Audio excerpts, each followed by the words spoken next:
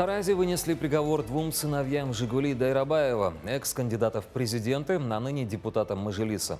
Вместе с ними на скамье подсудимых еще два человека. Всех четверых признали виновными по статье мошенничества в особо крупном размере.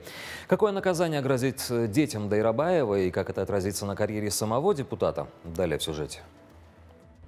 Несмотря на уголовную составляющую, сыновья Дайрабаева остались на свободе. Судья определила им условный срок в 5 лет. Они обязаны встать на пробационный контроль, у них конфисковали имущество и запретили занимать руководящие посты. А вот их поддельникам Гулькееву и Елебаю повезло меньше. Оба отправятся в места не столь отдаленные на 5 и 6 лет соответственно. Ущерб, который государству нанесли мошенники, оценивается в 551 миллионов тенге.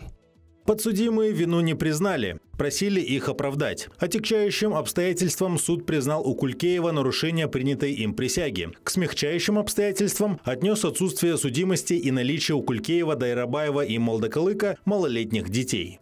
Впрочем, Дидар Молдахалык и Марат Дайрабаев не единственные дети депутатов, которые попали в орбиту скандалов. Сейчас решение военного суда ожидает сын другого мажелисмена, известного спортсмена Даулета Турлыханова. В середине февраля Нурасыл избил двух жителей Алматы. Его вина полностью доказана, сообщили в военно-следственном управлении МВД РК. В данный момент дело было уже окончено и передано для ознакомления участников процесса.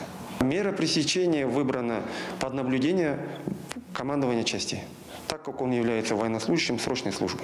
Несмотря на поступки своих сыновей, ни Дайрабаев, ни Турлыханов от своих депутатских мандатов отказываться, похоже, не собираются. По мнению отцов, дети уже взрослые, а потому и отвечать за свои поступки должны сами. Тем более, что в истории страны депутаты еще ни разу не отказывались от мандата из-за нерадивых наследников. Жанат Турсынов, Атамикен Бизнес. Это не единственный скандал, связанный с новоспеченными депутатами. На днях в поле зрения общественников попал еще один экс-кандидат в президенты и тоже член партии АУЛ Каракат Абден.